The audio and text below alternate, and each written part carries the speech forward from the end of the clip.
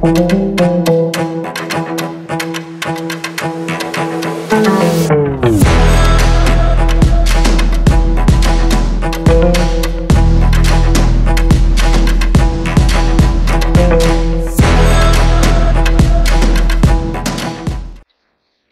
عليكم ورحمة الله وبركاته. الحمد لله والصلاة والسلام على رسول الله وعلى آله وصحبه ومن والاه ولا حول wala quwata illa billahi wa ba'd. Kajian kita masih membahas tafsir dari surah Al-Baqarah. Kita masuk pada ayat ke-38. A'udzu billahi minasyaitonir rajim. Bismillahirrahmanirrahim. Qulna bitu minha jami'an. Fa imma ya'tiyannakum minni hudan faman tabi'a hudaya fala khawfun alaihim wala hum yahzanun. Walladzina kafaru wa kadzdzabu bi ayatina ulaika ashabun nar hum fiha khalidun. Allah Subhanahu wa taala berfirman turunlah kalian semuanya dari sorga. Kemudian jika benar-benar datang petunjukku kepada kalian Maka barang siapa yang mengikuti petunjukku Tidak ada rasa takut pada mereka Dan mereka tidak akan bersedih hati Adapun orang-orang kafir dan mendustakan ayat-ayat kami Mereka akan menjadi penghuni neraka dan mereka akan dikekalkan di dalamnya selama-lamanya. Ma'asyiral muslimin yang dimuliakan Allah Subhanahu wa taala. Surah Al-Baqarah ayat 38 dan juga 39 di sini akhir daripada kisah Nabi Allah Adam alaihi salatu wassalam yang dicantumkan dalam permulaan surah Al-Baqarah. Jadi ketika Allah Subhanahu wa taala murka kepada Nabi Allah Adam alaihi salatu wassalam dan juga istrinya Hawa dan sebelumnya Allah sudah murka kepada iblis maka Allah subhanahu wa ta'ala menurunkan tiga makhluk ini. Semuanya ke bumi. Dan sudah saya ceritakan beberapa khilaf di mana mereka diturunkan. Ada yang mengatakan bahwa iblis diturunkan di lautan makanya iblis membangun istananya di lautan berdasarkan hadis Nabi sallallahu alaihi wa ala alihi wasallam bahwa istana iblis itu ada di lautan. Adapun Adam dan Hawa ada yang mengatakan Adam diturunkan di Sri Lanka di India dan Afwan adapun Hawa turun di Jeddah dan Adam turun di Sri Lanka kemudian keduanya dipertemukan Bagaimana caranya? Yang satu di India Sri Lanka, yang satu pula di Jeddah. Dalam riwayat Israiliyat ada yang mengatakan bahwa Allah Subhanahu wa taala turunkan Hajar Aswad. Hajar Aswad itu batu dari sorga. Dulunya putih dan bercahaya. Tetapi Nabi sallallahu alaihi wasallam mengatakan sawadathu banu Adam. Yang membuat batu yang sangat putih bercahaya itu menjadi hitam adalah Bani Adam. Apa maksudnya? Maksudnya dosa yang dilakukan Bani Adam sehingga menjadi batu itu berubah yang tadinya putih bercahaya menjadi hitam. Makanya disebut Hajar Aswad. Batu yang sangat hitam. Lah ketika batu itu diturunkan dari sorga ke bumi, maka itu menandakan sebuah sinyal cahaya bahwa Adam alaihi salatu wassalam kalau ingin mencari Hawa istrinya yang terpisah ah carilah di titik cahaya itu. Begitu juga Hawa.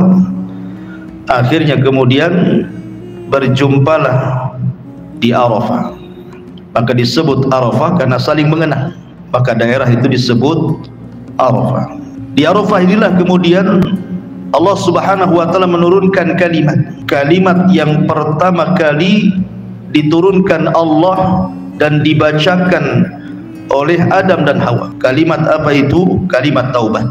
Dan Allah Subhanahu wa taala berfirman, "Fatalaqqa Adamu mir rabbih kalimatin fataba alaihi innahu huwa tawwabur rahim." Maka Allah Subhanahu wa taala mengajarkan kepada Adam beberapa kalimat. Ada yang mengatakan kalimat ini adalah doa yang kita sering baca. Rabbana zalamna anfusana wa illam taghfir lana wa tarhamna lanakunanna minal khasirin doa pengakuan dosa dan permintaan ampun kepada Allah. Maka setelah Allah subhanahu wa ta'ala ampuni dosa keduanya baru kemudian keduanya bertolak ke mana? Ke Ka'bah. Dan Ka'bah sebelumnya sudah dibangun malaikat. Dan Hajar Aswad diturunkan di situ. Maka tawaflah kemudian Adam dan Hawa di sekitar Ka'bah. Inilah yang menjadikan kemudian bahwa bumi pertama kali manusia beribadah adalah di sekitar Ka'bah. Makanya Ka'bah itu menjadi mulia karena di situlah bumi pertama kali diibadahi oleh manusia Adam dan Hawa. Terlebih kemudian kemuliaan Ka'bah ini bertambah-tambah saat dilahirkan Nabi sallallahu alaihi wasallam dan bertambah-tambah kemuliaannya saat diangkatnya Nabi menjadi Nabi dan Rasul dan bertambah-tambah kemuliaannya saat Ka'bah kemudian dibebaskan dari segala jenis kesyirikan pada Fathu Mekah. Dan bertambah-tambah kemuliaannya saat Ka'bah dijadikan kiblat bagi seluruh kaum muslimin dan bertambah-tambah kemuliaannya saat seluruh manusia setiap tahun datang untuk melaksanakan haji. Itulah Ka'bah Di situlah Adam pertama kali beribadah kepada Allah Subhanahu wa taala. Masyarul muslimin yang dimuliakan Allah Azza wa Jalla. Tidak mungkin Adam dan Hawa hidup berdua, harus memiliki keturunan. Makanya kemudian Allah Subhanahu wa taala menganugerahkan kepada Adam 40 putra dan putri. Dan Allah anugerahkan setiap kehamilan selalu kembar. Jadi Hawa itu hanya melahirkan 20 kali saja. Tapi sekali melahirkan laki-laki dan perempuan dan itu hikmah, keinginan dan kehendak Allah Subhanahu wa taala. Karena Adam alaihi salatu wassalam itu diberikan usia panjang. Dalam hadis yang sahih, ketika Allah Subhanahu wa taala menciptakan Adam alaihi salatu wassalam, Allah usap punggungnya. Kemudian keluar ruh dari punggung Adam itu. Ruh-ruh yang akan menjadi anak keturunannya sampai kiamat. Kemudian Nabi Adam alaihi salatu wasallam diperlihatkan ada dari umatnya yang bercahaya di dahinya. Kemudian Adam takjub dan mengatakan siapa itu? Maka dikatakan kepada Adam itulah Daud dari keturunan. Kemudian Adam berkata berapa usianya? Maka dikatakan usianya hanya 60 tahun. Adam mengatakan kenapa sedikit? Bagaimana kalau ku tambahkan dari usiaku genapkan 100 tahun? Jadi usia Adam diambil 60 tahun diberikan kepada Nabi Allah Hud. Akhirnya kemudian ketika usia Adam sudah 940 tahun datang malaikat maut dan hendak mencabut nyawanya. Kemudian Adam mengelak dan mengatakan, "Bukankah usiaku masih tersisa 40?" Jadi ketika usianya 960 tahun ya. Karena yang 40 tahun kan diberikan kepada Nabi Allah Hud. Nabi apa apa bukan Hud, Nabi Allah Daud alaihi salam. Kemudian Adam lupa kalau yang 40 tahun itu sudah diberikan kepada Nabi Allah Daud. Dari sinilah kemudian anak turunan Adam menjadi pelupa. Makanya manusia disebut al-insan dari kata-kata nisyan lupa. Artinya Adam diberikan usia hampir seribu tahun. Walaupun dikurangi kepada Nabi Allah Daud alaihi salatu wassalam menunjukkan bahawa usia Adam itu cukup panjang. Sehingga kemudian anak-anaknya beranjak dewasa. Dari situlah kemudian Allah subhanahu wa ta'ala mensyariatkan kepada Adam untuk menikahkan. Bolehnya saudara dengan saudari menikah tetapi jangan kembarannya boleh menikah antara saudara dengan saudari kandungnya tapi syaratnya jangan kembarannya. Lah kebetulan dari anak-anak Adam ini yang paling besar adalah Qabil dan Habil.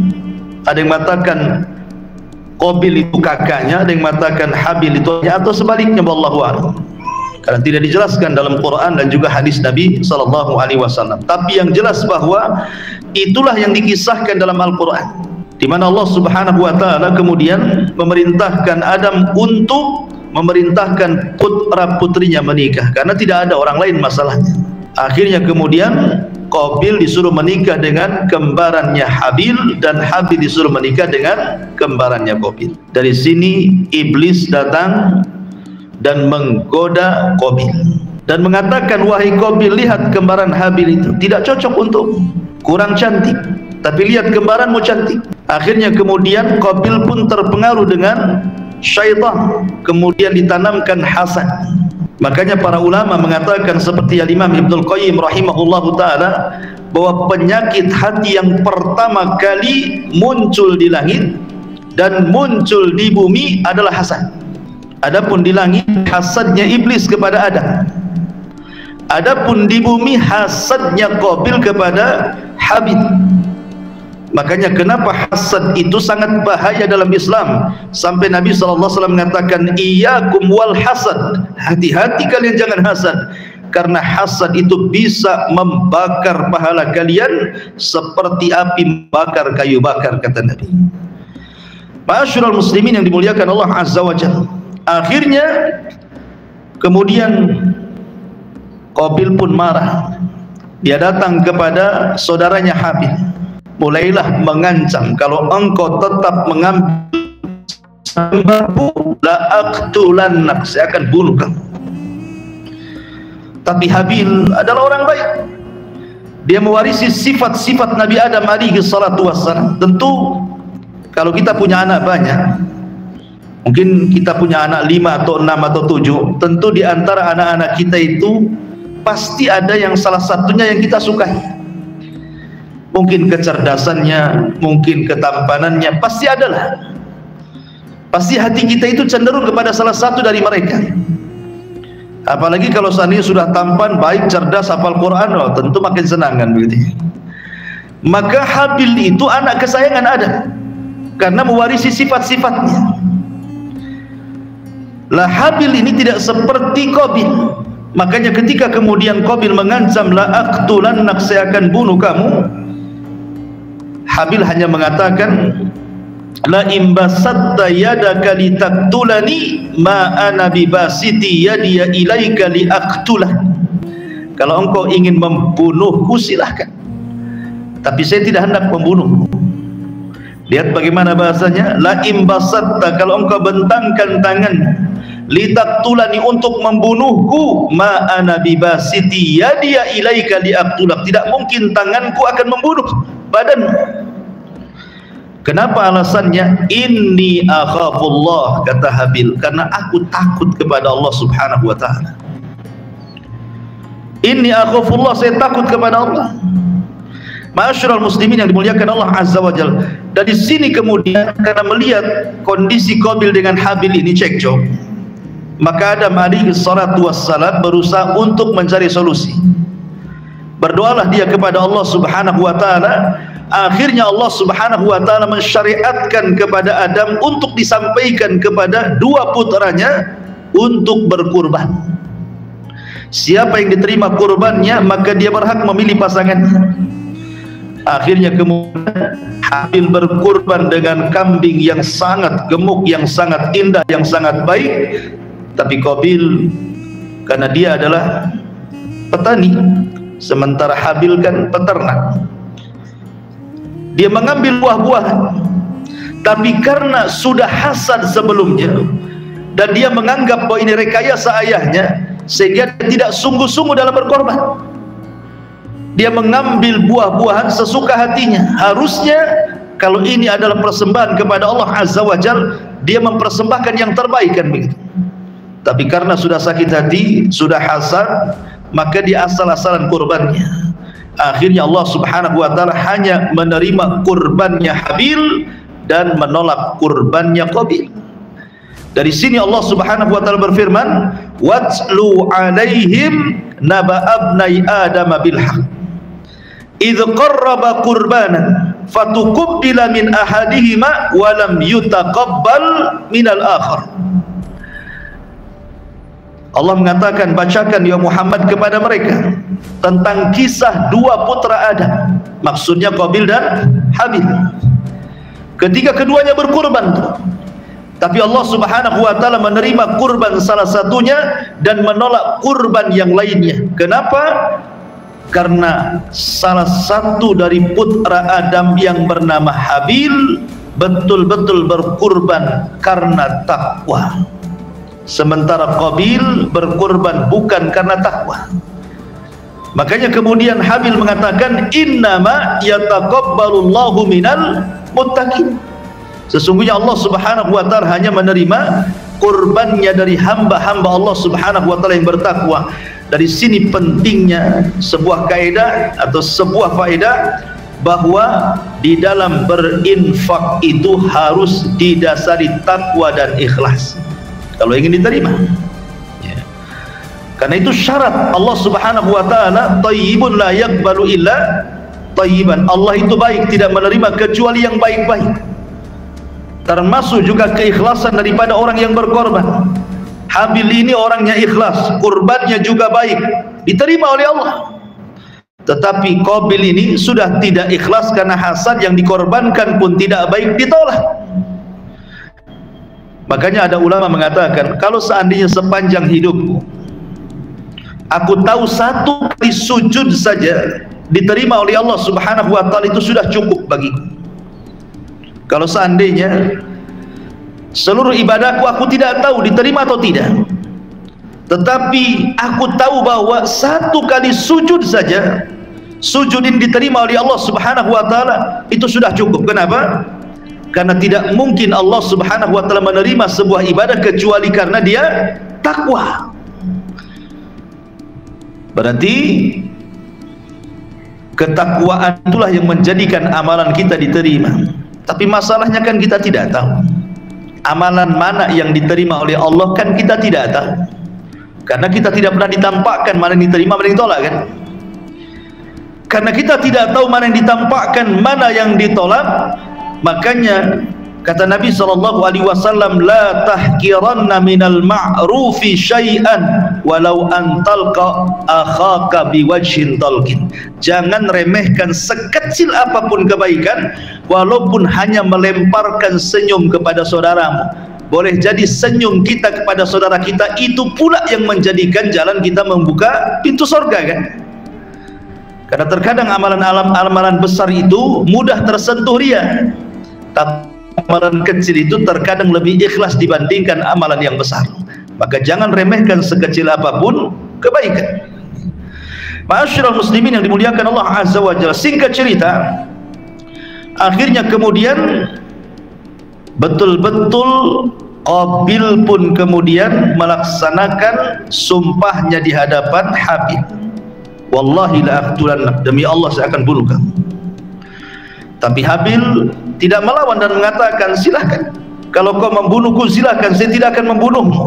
Saya takut kepada Allah subhanahu wa ta'ala dan saya ingin gabungkan dosaku kepada dosamu supaya engkau termasuk penuh neraka. Bahasanya apa kata Qabil atau kata Habil kepada Qabil?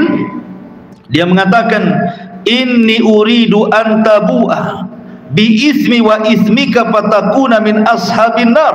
Wa dzalika jazaa'ul zalimin.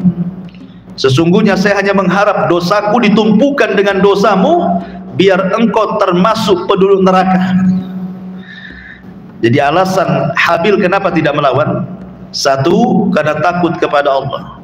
Dua biar dosanya digabungkan dosa orang yang membunuhnya sehingga dia masuk surga dan orang yang membunuhnya masuk neraka.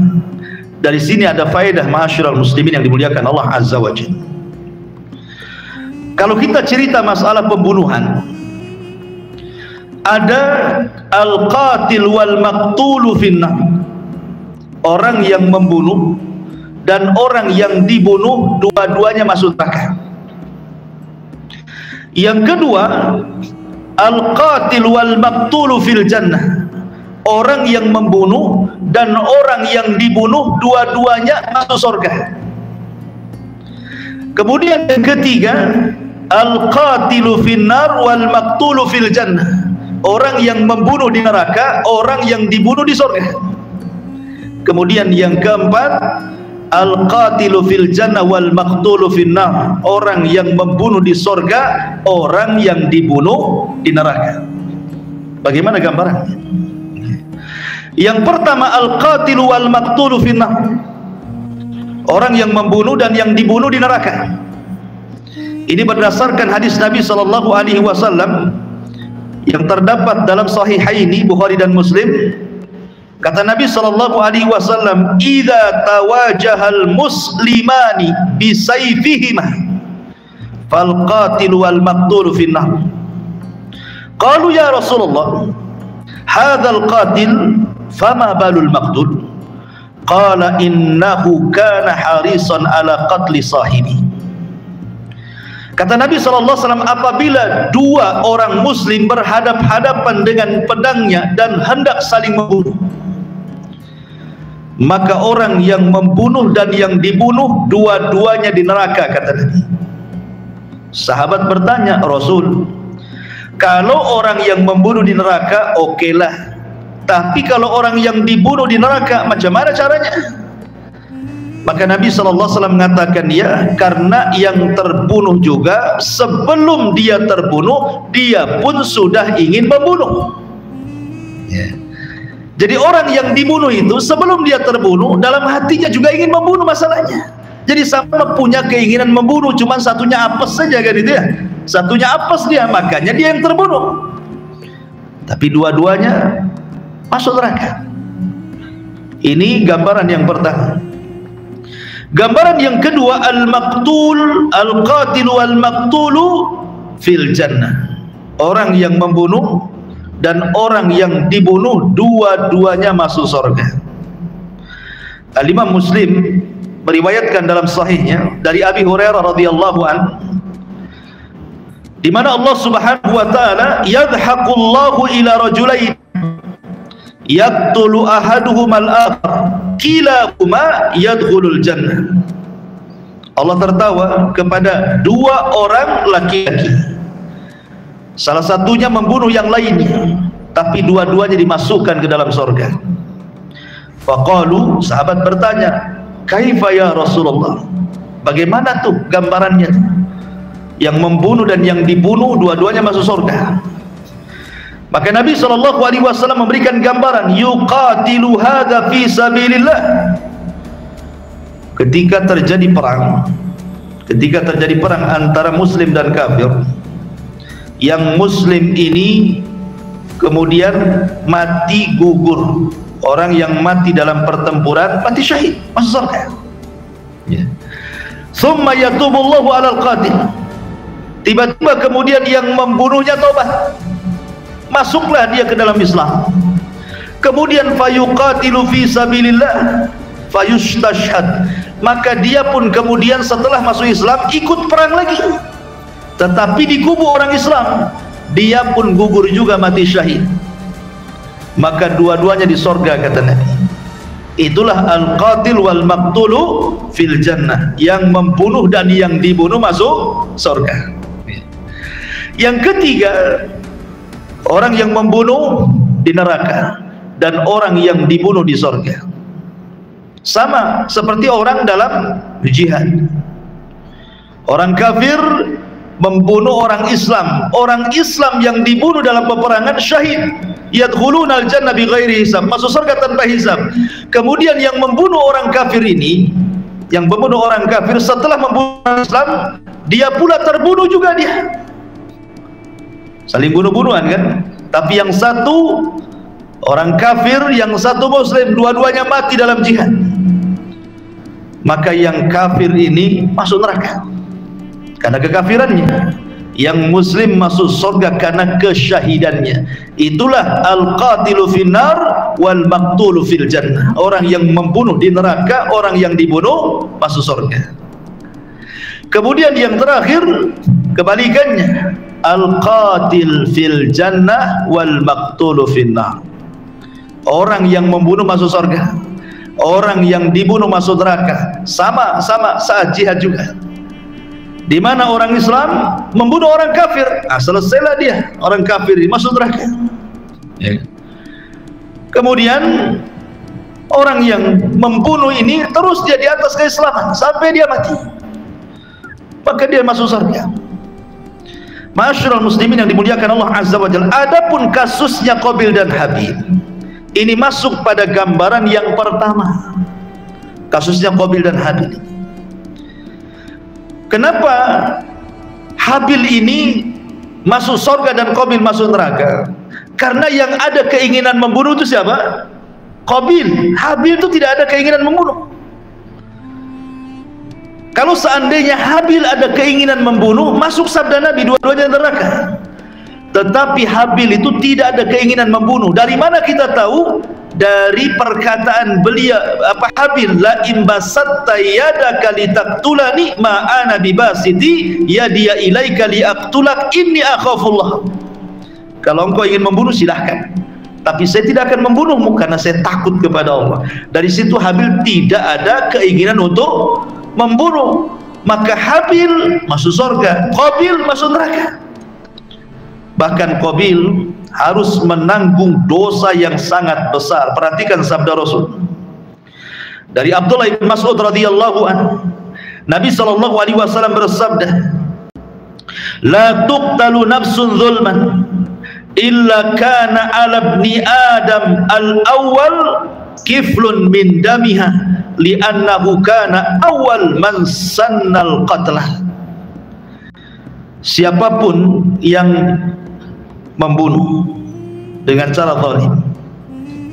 Siapa pun yang membunuh dengan cara zalim. Kecuali anak Adam yang pertama si Qabil akan dapat bagian dosanya. Karena dia orang yang pertama kali mencontohkan membunuh jadi kalau sejak zaman Qabil sampai hari ini ada orang yang membunuh dengan cara zalim, otomatis orang yang membunuh itu kan dosa. Ribuan orang yang sudah membunuh, otomatis ribuan dosa ini si Qabil juga akan nanggung dosanya. Kenapa? Karena dia yang ngasih contoh keburukan. Sementara Nabi sallallahu alaihi wasallam bersabda, "Man sanna sunnatan sayyi'atan falahu wizruha wa wizru man amila ba'dahu la yanqusu min auzarihim syai'a kata Rasul Barang siapa yang mencontohkan keburukan maka dia dapat dosa dan dosa orang yang mencontohnya tanpa mengurangi dosa mereka sedikit pun dan begitu seterusnya. Berarti Qabil ini banyak di dosanya. Karena setiap dosa pembunuh itu dia dapat bagiannya tuh maka jangan memberikan contoh keburukan kemudian ditiru orang maka orang yang menirunya dapat dosa dan orang yang menirukan pertama dapat bagian dosanya. Alhamdulillah jadilah orang-orang yang mencontohkan kebaikan jangan jadi pencontoh keburukan. Ya. Masyurul muslimin yang dimuliakan Allah subhanahu wa ta'ala. Setelah kemudian Qabil pun ketika dibunuh oleh Qabil dengan cara pengejut padahal dalam beberapa sirah itu dijelaskan badan Habil itu sebenarnya lebih besar lebih kekal. Kalau seandainya mau berkelahi Qabil itu kalah sebenarnya. Ya kita melihat dari postur tubuh gitu ya dan kekuatan. Tetapi pembunuhan Qabil itu kan secara pengecut di mana ketika Habil sedang tertidur diambilnya batu besar kemudian dipukulkan di kepalanya sampai hancur mati. Lebih parah lagi kemudian dibiarkan jasadnya begitu saja.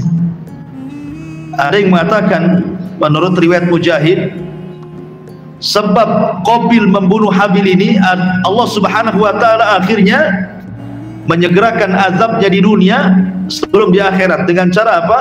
tiba-tiba betisnya tertekuk dengan pahanya. Dia tidak bisa jalan. Kemudian wajahnya ke atas dan tidak bisa dikembalikan. Dia tersengat sinar matahari. Itulah dosa zalim. Kata Nabi SAW tidak ada dosa kata Nabi SAW ma min zambin ajjalallahu ukubatahu fid qabla al-akhirah al-baghyu wa qati'atur rahim. Tidak ada dosa yang disegerakan balasannya di dunia sebelum akhirat kecuali kezaliman dan pemutus silaturahim. Allah segerakan. Ya. Hati-hati dua dosa ini melakukan kezaliman pada orang ataupun memutus silaturahim makanya Imam Zahabi rahimahullahu taala menyebutkan di dalam kitab Al-Kabair. Dosa-dosa besar. Kitabnya judulnya Al-Kabair. Imam Zahabi. Menceritakan tentang seseorang yang melakukan kezaliman. Jadi ada orang zalim merampas ikan nelayan. Kemudian dia mengancam kalau engkau tidak memberikan kubur. Nelayan ini orang lemah. Orang zalim ini orang kuat. Terpaksalah dikasihkan kemudian sang zalim ini dengan bangganya dengan sombongnya membawa ikan itu bawa pulang. Tidak sadar di tengah jalan ikan yang mati Allah hidupkan tiba-tiba menggigit jarinya. Dia rasa gigitan itu biasa saja. Hanya berdarah sedikit ya sudah biasa saja pulang ke rumah. Dimasak ikan itu dimakan dengan lahapnya tanpa punya perasaan dosa. Di malam harinya bekas gigitan itu baru terasa dia pun merasakan sakit kesakitan yang luar biasa yang tidak ada yang tahu rasa sakitnya kecuali Allah. Menjerit-jerit keesokan harinya dia datang ke dokter ke tabib ke tabib ke dokter bukan ke dukunnya kemudian kata tabib kata dokter ini itu gigitan ikan ada virusnya. Itu sudah menjalar ke telapak tangan harus diamputasi kalau tidak diamputasi akan menjalar ke pergelangan sampai ke jantung mati kan? Subhanallah. Baru kemarin dia melakukan kezaliman jarak satu hari sudah dipotong tuh tangannya itulah kadang-kadang Allah menyegerakan kan? Dosa kezaliman. Dikiranya setelah dipotong telapak tangannya sembuh tidak juga. Beberapa hari kemudian menjalar lagi sampai ke sikut dia balik lagi ke tabib atau tabib itu harus diamputasi lagi. Akhirnya dipotong juga sikutnya. Beberapa hari lagi tidak sembuh juga. Ternyata menjalar sampai di bahunya. Dokter ini heran dia sudah sering menangani perkara itu. Tapi tidak seperti ini. Makanya dokter ini bertanya kepada orang ini dosa kamu itu apa sebenarnya? Akhirnya bercerita tentang kezalimannya mengambil ikan nelayan itu kata dokter subhanallah. Seandainya ketika ikan itu Allah hidupkan dan menggigit jarimu kau langsung serahkan ikan itu. Minta ampun, minta maaf. Kau tidak perlu datang ke sini. Ya, tapi ini semua sudah takdir Allah Azza wa Jal. Sebelum ku potong bahumu sebaiknya kau datangi nelayan yang kau ambil ikannya minta maaf, minta redhonya. Mudah-mudahan dengan cara itu Allah sembuhkan penyakitmu cari dia. Ya. setelah ketemu akhirnya dia mengatakan samih ya fulan maafkan dosa-dosaku wahai fulan. Lah ini bingung siapa orang ini? Kemudian diceritakan saya seorang orang zalim yang telah mengambil ikanmu pada waktu-waktu yang kemarin-kemarin. Tolong maafkan saya. Akhirnya kemudian karena melihat kondisinya yang kasihan dimaafkanlah sang nelayan ketika dimaafkan hilang rasa sakitnya kemudian sebelum dia pergi orang zalim yang sudah bertobat ini mengatakan kepada sang nelayan ini wahai bapak ketika saya ambil ikan saya melihat bibirmu bergerak-gerak. Kamu ngomong apa? Gitu dia. Akhirnya kata sang nelayan tidak aku tidak bicara apa pun kecuali hanya berdoa kepada Allah hanya mengatakan ya Rabb sesungguhnya aku ini orang lemah di hadapanku orang kuat. Arini kuwataka ya Rabb. Tolong tampakkan kekuatanmu kepada aku. Hanya itu saja. Ya. Rupanya manjur doa orang yang didolimi mus mustajab. Ingat doa orang yang didolimi itu mustajab. Karena orang yang mendolimi itu dia bisa nyanyak tidur orang yang didolimi tidak pernah nyanyak tidur. Makanya dia bermunajat tiap malam untuk melaknat orang yang mendoliminya hati-hati tuh. Ya. karena orang yang madlum yang didolimi ini kalau sudah berdoa tidak ada hijab antara dia dengan Allah. Melesat. Walaupun yang didolimi itu orang kafir. Masyurul muslimin yang dimuliakan Allah Azza wa Jalla akhirnya setelah dimaafkan dan dia pun menyesal maka dia pun hendak datang ke dokter tadi. Tapi sebelum dia datang ke dokter tadi menghabarkan bahwa sakitnya sudah hilang dia datang ke orang-orang datang ke pasar-pasar datang ke keramaian orang dan mengatakan man ra'ani falam yadlim minhu ahada. Siapa pun yang melihat aku tolong jangan berbuat zalim. Tampakkanlah bekas amputasinya itu lah Imam Zahabi mencantumkan kisah ini dalam kitab Al-Kabair. Dosa-dosa besar. Ya Nah di sini lihat bagaimana Habil ketika dibunuh oleh Qabil secara zalim maka Allah berikan hukuman kepada Qabil kan ini Makanya Rasul mengatakan tidak ada dosa yang disegerakan hukumannya di dunia sebelum akhirat. Salah satunya al-baghyu kedzaliman wa qati'atur rahim dan orang yang memutus silaturahim. Ketika kemudian Qabil sudah membunuh Habil, maka di sinilah cerita peradaban dimulai. Manusia mulai terpisah jadi dua. Setelah Qabil membunuh Habil, dia malu berjumpa dengan Adam bapaknya.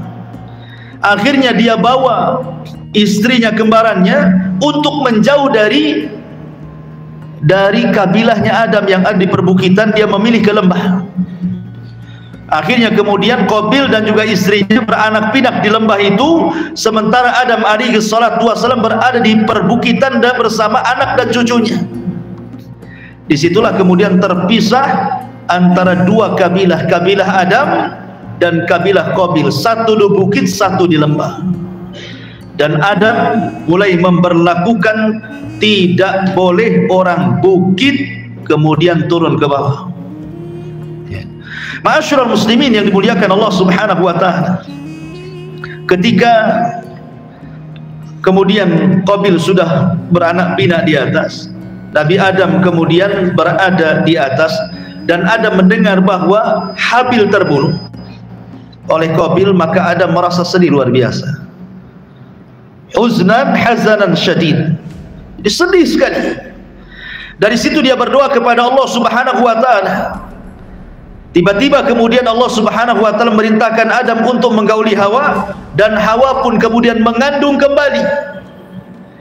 Rupanya Allah subhanahu wa ta'ala hendak menghibahkan menghadiahkan kepada Adam pengganti Habil. Maka lahirlah kemudian seorang anak yang disebut dengan hibatullah hadiah dari Allah sebagai pengganti Habil siapa namanya? Syith alaihi salam. Dialah kemudian yang akan menjadi nabi setelah Adam. Namanya Nabi Allah Syith.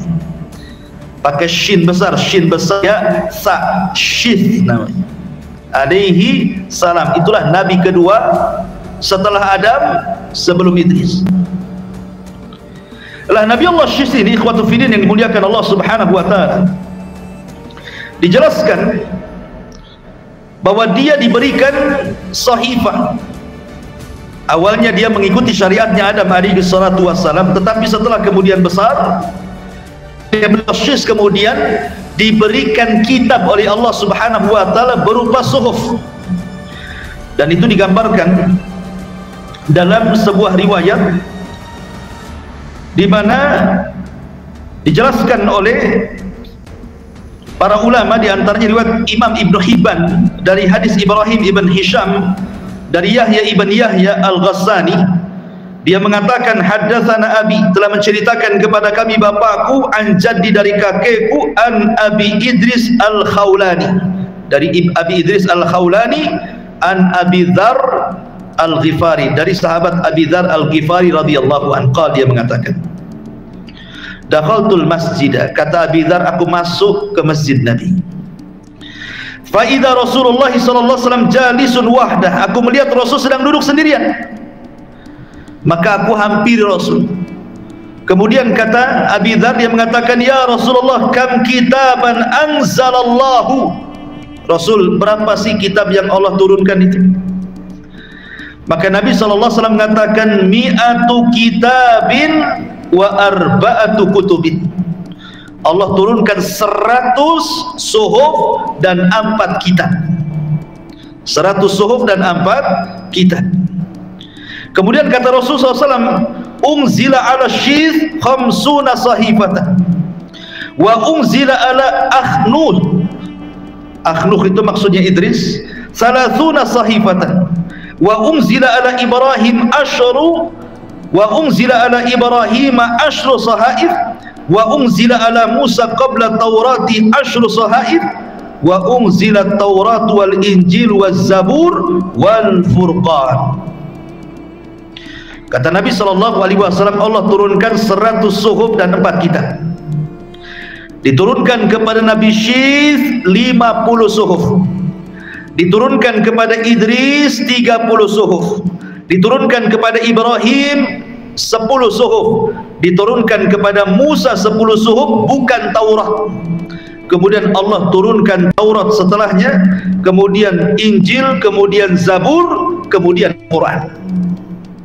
Hadis ini dikatakan oleh Al-Hafidh Ibn Rajab rahimahullahu taala walaupun hadis ini dikeluarkan oleh Imam Ibn Hibban dalam sahihnya di dalam Al-Ihsan fi Taqrib Sahih Ibn Hibban tapi ada catatan dari Imam Ibn Rajab Al-Hambali dalam Fathul Bari wa qad ruya min wujuhin muta'addidatin an Abi Dzarrin wa kulluha la takhlu min maqali memang banyak riwayat tentang jumlah kitab yang turun itu tapi semua ada perbincangan para ulama tentang sanadnya tapi intinya bahwa Nabi Allah Syis diturunkan kepada Syis ini 50 sahih sahifah. 50 lembar kitab yang datang dari Allah Subhanahu wa taala.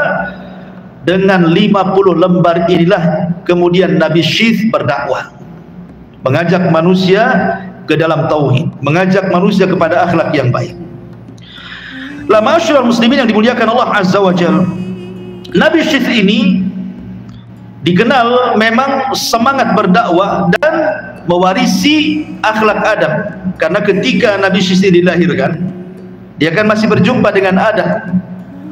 Masih berjumpa ratusan tahun dengan Adam alaihi salatu wassalam sehingga memungkinkan Adam mendidik Nabi Allah Syis akhirnya menjadi seorang Nabi. Bahkan ketika kematian Adam alaihi salatu wassalam dijelaskan ketika Adam alaihi salatu wassalam meninggal dunia Adam ini kan masih teringat dengan sorga. Karena pernah tinggal di sorga masalahnya. Jadi teringat dengan sorga.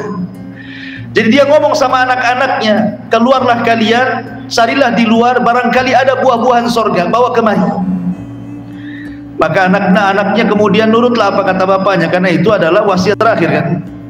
Keluarlah anak-anaknya mencari buah-buahan yang mirip dengan buah-buah surga di tengah jalan berjumpa dengan malaikat Kemudian kata malaikat, "Ila aina tadhhabun?" pergi ke mana kalian? Kemudian anak-anaknya ada mengatakan, termasuk sis di situ gitu ya. Kami diperintahkan bapak kami karena dia sedang sakaratul maut untuk mencari buah-buahan seperti buah-buah sorga kata malaikat lah ketika itu di tangan malaikat ada kain kafan dari sorga ada wewangian dari sorga sudah membawa perlengkapan fardu kifayah jadi kata malaikat ini kembali kepada rumah kalian. Sesungguhnya ayah kalian sebentar lagi mau meninggal. Akhirnya anak-anaknya kemudian datang dan malaikat maut sudah datang kepada hadapan Adam alaihi salatu wasallam ketika melihat itu malaikat Adam meminta kepada istrinya untuk menyingkir kemudian Adam alaihi salatu wasallam pun akhirnya dicabut nyawanya maka kemudian malaikat mengajarkan bagaimana caranya fardu kifayah.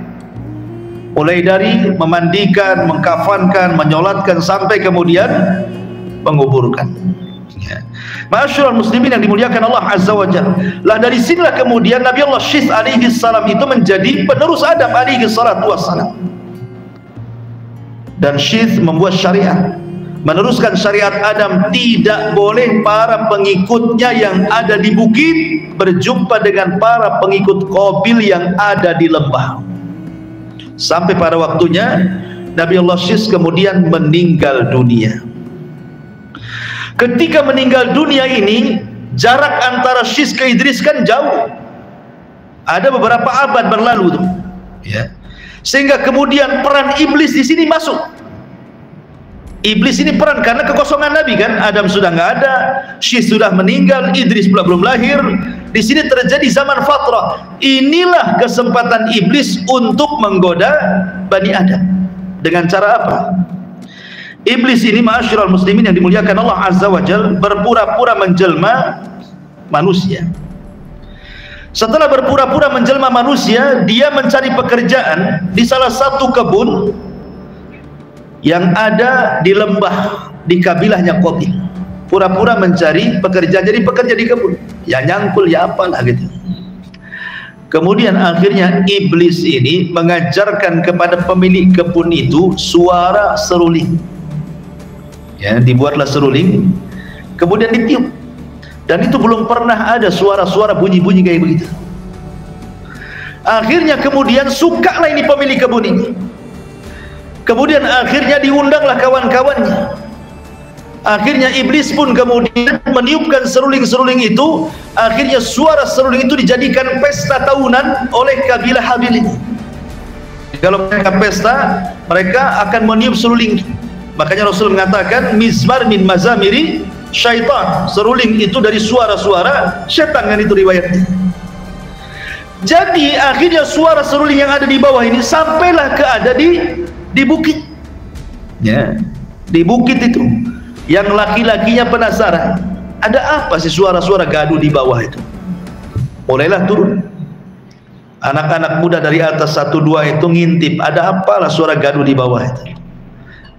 Lah dalam hadis Nabi sallallahu alaihi wasallam turunan Qabil itu laki-lakinya tak tampan perempuannya pula cantik-cantik sementara yang di atas yang kabilahnya Syith alaihi salam itu terbalik pula.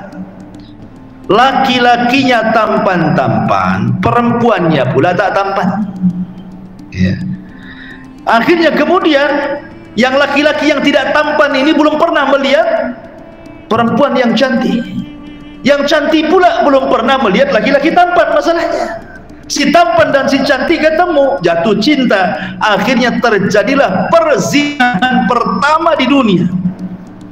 Berzinah mereka antara yang ada di bukit dengan yang ada di lembah ini. Akhirnya terjadi perzinahan awalnya dari musik berakhir dengan perzinahan. Makanya musik, zina, khamr itu tiga serangkai tidak bisa dilupakan. Tidak bisa dilepas. Musik zina khamar wajib ada. Itu tiga maksiat yang tidak dipisahkan. Sebab kalau seseorang kemudian uh, minum tanpa musik geleng-geleng gak asik. Gitu. harus ada musiknya harus geleng-geleng. Habis mabok baru zina. Naudzubillah. Akhirnya kemudian terjadi kerusakan. Tapi subhanallah Allah masih menjaga akidah kaum muslimin. Belum ada kesyirikan mereka tidak bisa digoda untuk melakukan kesyirikan. Karena kesyirikan itu terjadi setelah berlalu seribu tahun. Antara Nabi Adam ke Nabi Nuh alaihi salatu wassalam.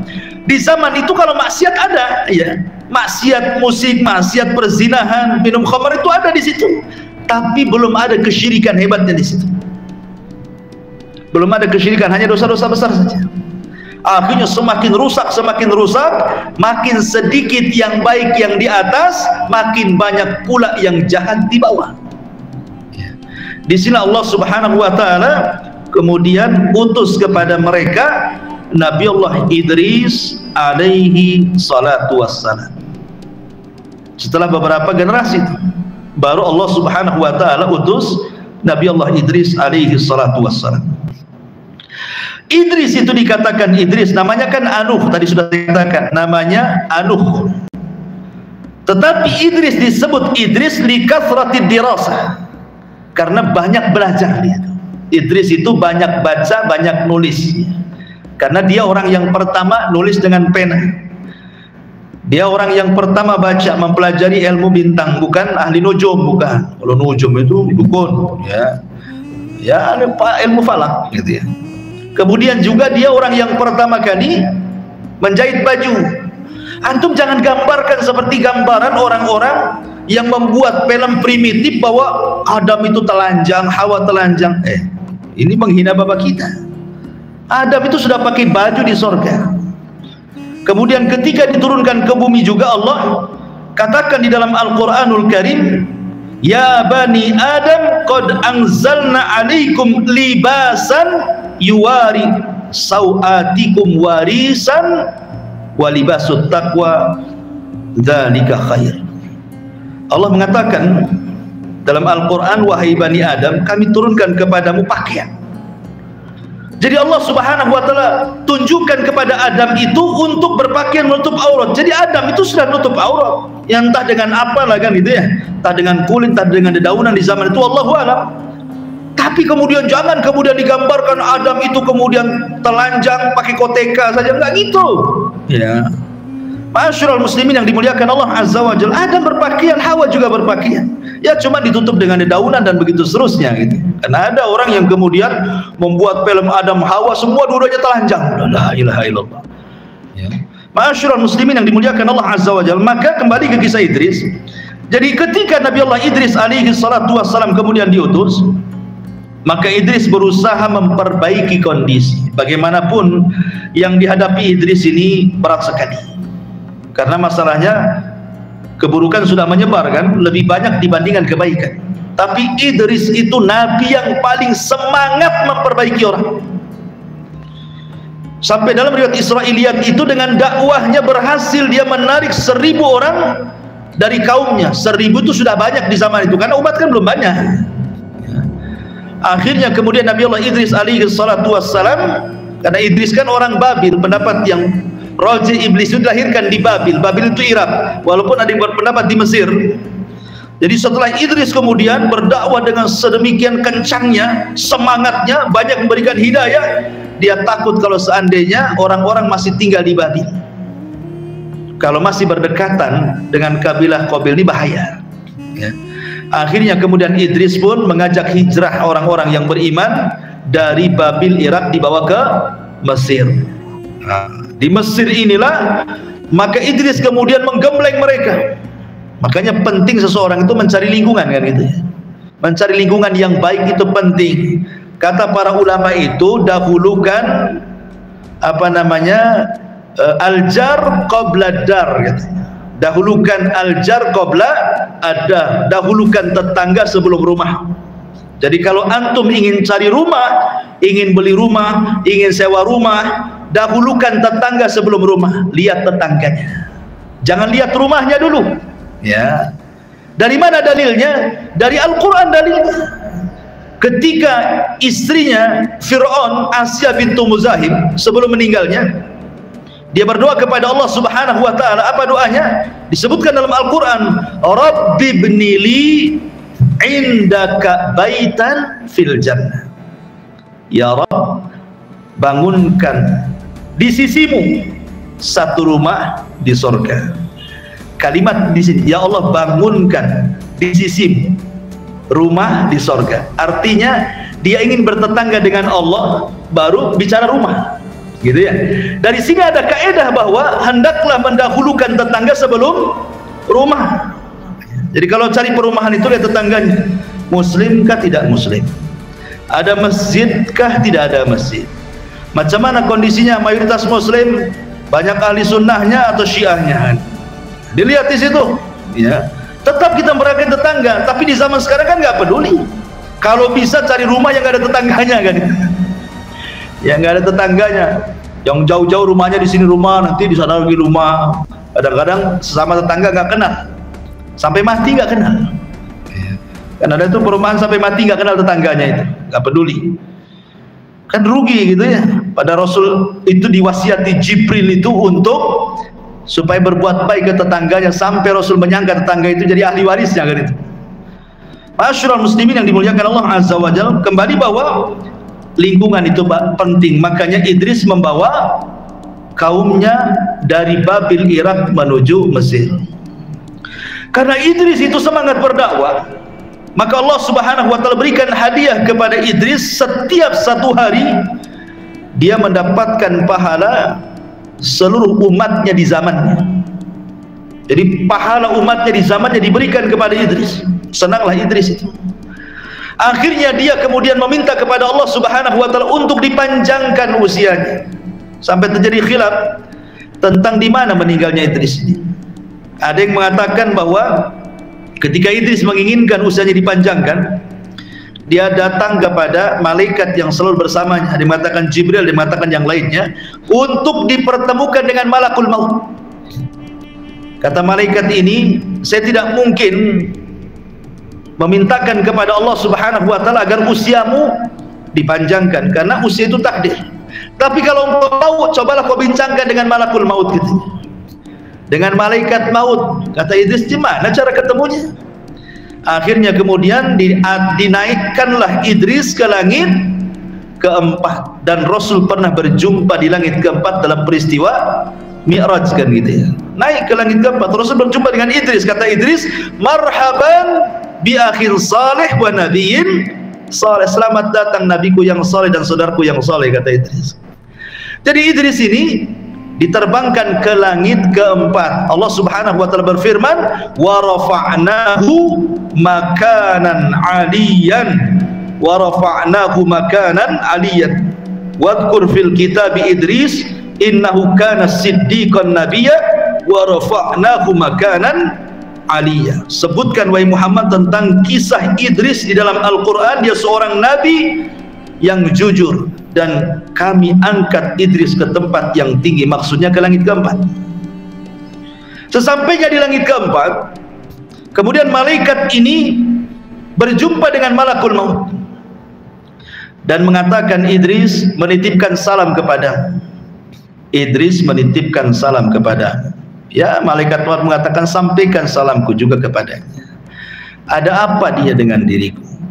Kemudian malaikat ini mengatakan, aku antar Idris ke langit keempat itu supaya dia ingin ditambah usianya agar kau jangan mencabut dulu nyawanya.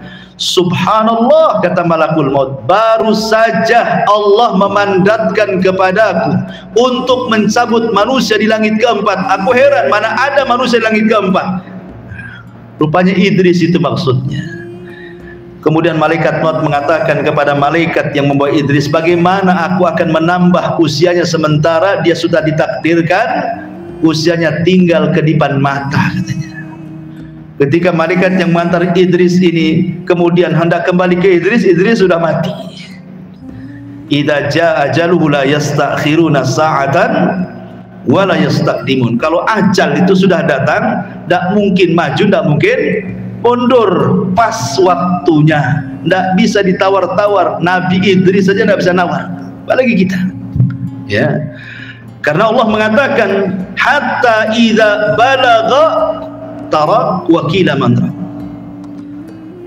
hatta idza balagatit tara wakila mantra kalau nyawa sudah di sini di tenggorokan enggak ada yang bisa mengembalikan ke bawah. Wakila mantra siapa yang bisa meruqyah hadir kembalikan rohnya? Tidak bisa.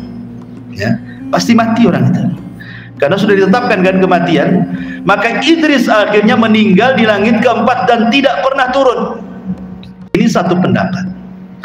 Pendapat yang kedua Idris itu tidak dicabut nyawanya tapi dia diangkat ke langit keempat wa rafa'nahu makanan aliyya dan kami angkat ke tempat yang tinggi. Maksudnya Idris dibiarkan hidup sama dengan Nabi Isa. Ya dinaikkan gitu saja. Dia tidak mati. Nanti matinya di akhir zaman. Ada juga yang mengatakan Idris itu mati di bumi. Tidak ada mati di langit. Mati di bumi. Semua manusia itu mati di bumi. Makanya Adam saja harus diturunkan dari sorga ke bumi supaya mati di bumi maka Idris itu mati di bumi. Adapun kemudian kalimat wa rafa'nahu makanan aliyah kami angkat Idris ke tempat yang tinggi. Maksudnya Allah tempatkan Idris di sorga. Ya. Di surga yang paling tinggi.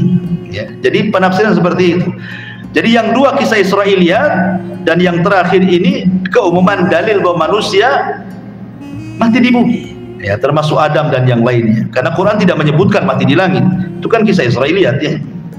Tapi yang jelas bahwa masyarakat muslimin yang dimuliakan Allah Subhanahu wa taala dari sini maka dapat kita faedah setelah kematian Idris alaihi salatu wassalam maka manusia tetap di atas tauhid. Tapi kemudian setelah Idris sudah berlalu zamannya kekosongan para nabi tidak ada nabi dan rasul lagi hanya ada orang-orang yang meneruskan syariat Idris alaihi salatu wassalam maka bergoncanglah hati manusia karena tidak ada rujukan tidak ada nabi lagi masalahnya di situlah hadir sebagai pewaris para nabi para ulama orang-orang soleh lah kebetulan pewaris para nabi orang-orang soleh dari kaumnya Idris itu ada keluarga yang disebut dengan Wud keluarga Wud ya. Quran membahasakannya Wad. Allah mengatakan la tadarunna waddan wala suwa'an wala yagutha wa ya'uqa wa nasra dalam surah Nuh itu ya. Inilah lima orang soleh ini yang tersisa. Ini satu keluarga ini. Bapaknya Wad Suwa, Yagus, Ya'ub, Nasr ini anak-anaknya. Mereka lah yang meruskan perjuangan dakwah Idris alaihi salatu wasalam untuk mengajak manusia ke dalam tauhid. Tapi Allah takdirkan meninggal satu persatu Wad meninggal ganti Suwa meninggal ganti Ya'ub, Yagus, Yagus meninggal ganti Ya'ub, Ya'ub meninggal ganti Nasr, tidak ada penggantinya. Ya. Sehingga di situlah iblis ada kesempatan Selama ini iblis tidak bisa menyimpangkan Bani Adam sejauh kecuali hanya sekedar dosa besar. Untuk berbuat syirik tidak bisa. Di sini ada kesempatan. Generasi pertama dipengaruhi dan mengatakan Idris datang kepada mereka menjelma orang soleh. Karena ketika itu karena semangatnya mereka kepada orang-orang soleh ini, akhirnya kemudian mereka mendapatkan hati kepada mereka dan penggantinya.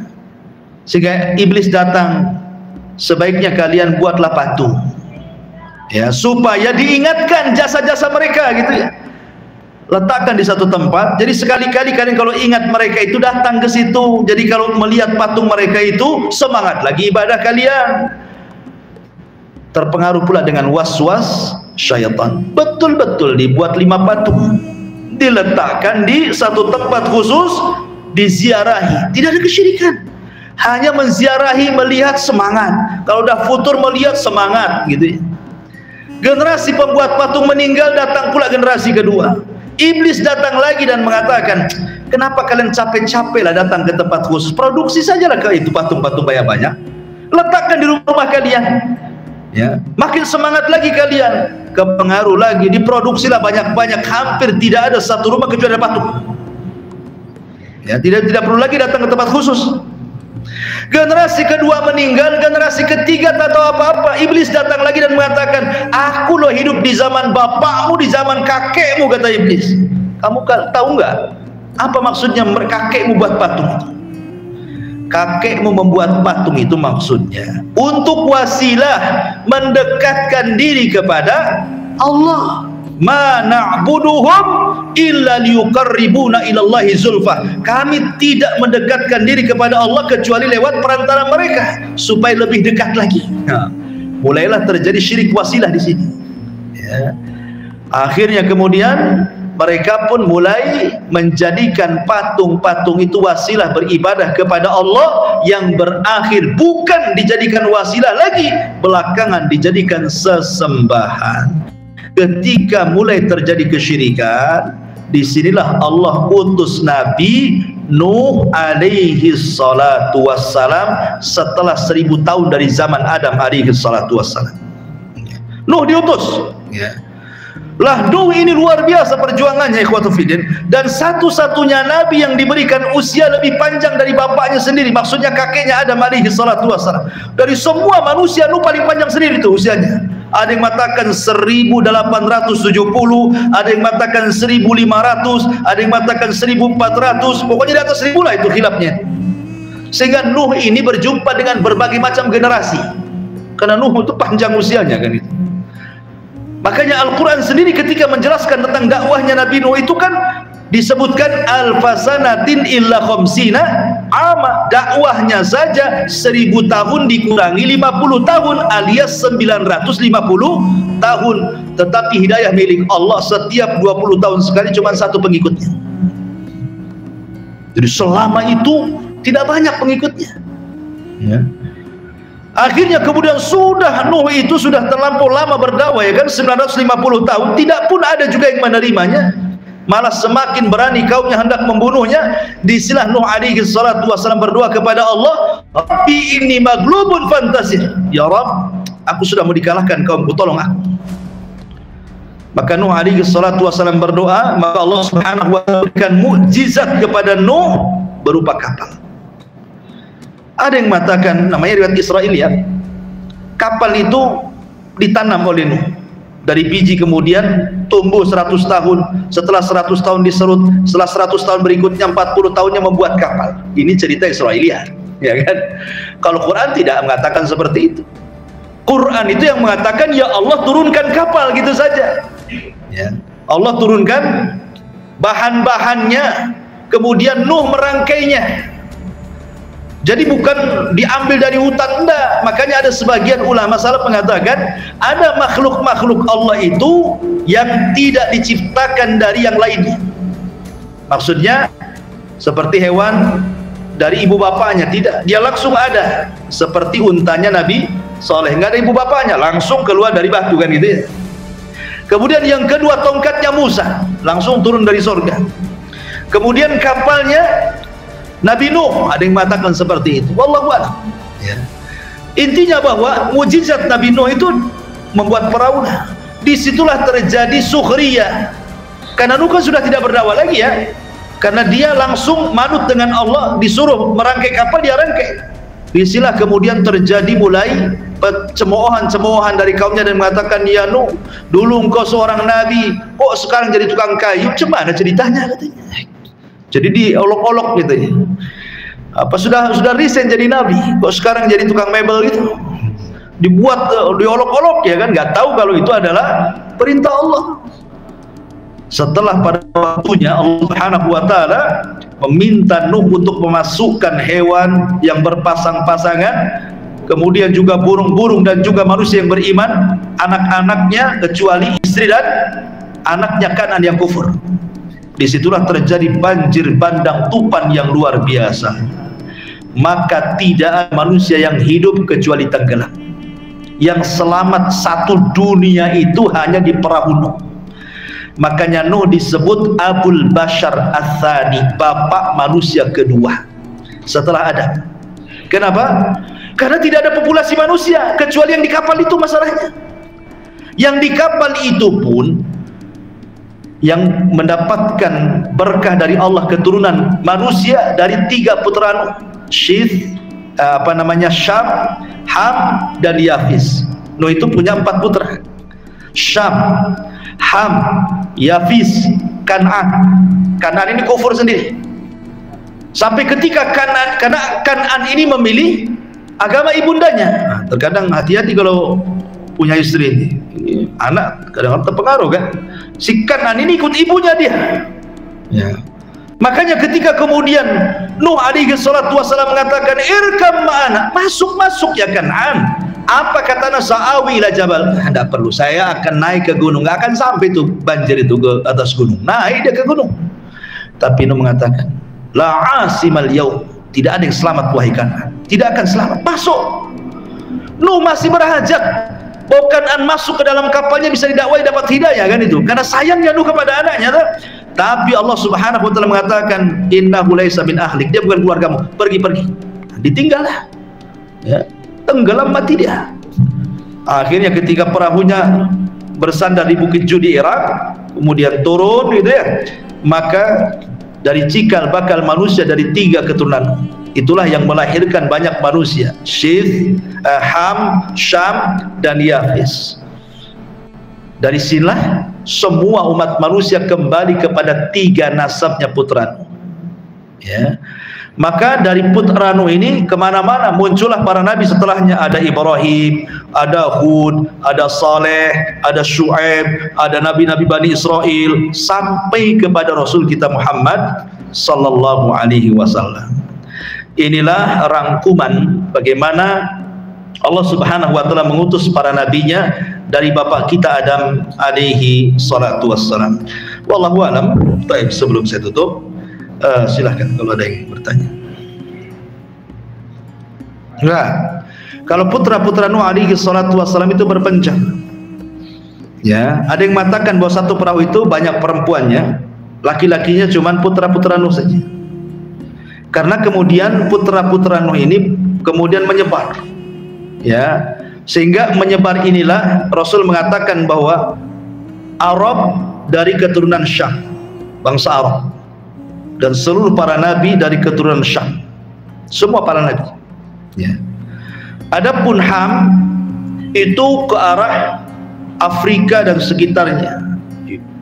Sehingga turunan orang-orang berkulit hitam. Itu dari Ham. Adapun Yafis ini ke arah Asia. Yafis ini. Ya, Yafis ini melahirkan beberapa kabilah termasuk Ya'juj wa Ma'juj. Itu dari Yafis. Ya.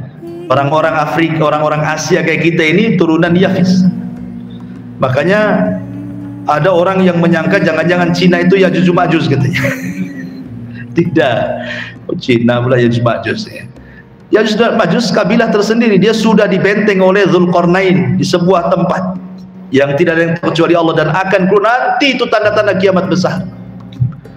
Tanda-tanda kiamat besar. Karena ada orang yang kemudian mentakwil hadis-hadis akhir-akhir zaman itu dengan takwilan yang aneh-aneh. Dajjal itu bukan manusia Dajjal itu simbol barat katanya. oh itulah simbol barat Dajjal. Dajjal itu manusia. Makanya Rasul SAW menyamakan dengan manusia sebutkan ciri-cirinya. Termasuk ya jujur majus. Ya, disebutkan ciri-cirinya kan? Mereka seperti bangsa Turuk bulat-bulat seperti orang Asia. Jadi anak-anaknya itu menyebar di satu dunia ini ya semua kembali kepada tiga putra Nuh alaihi salatu wassalam. Wallahu a'lam. Baik sampai di sini kita tuh subhanahu wa bihamdika asyhadu an la ilaha illa anta astaghfiruka wa atubu Allahu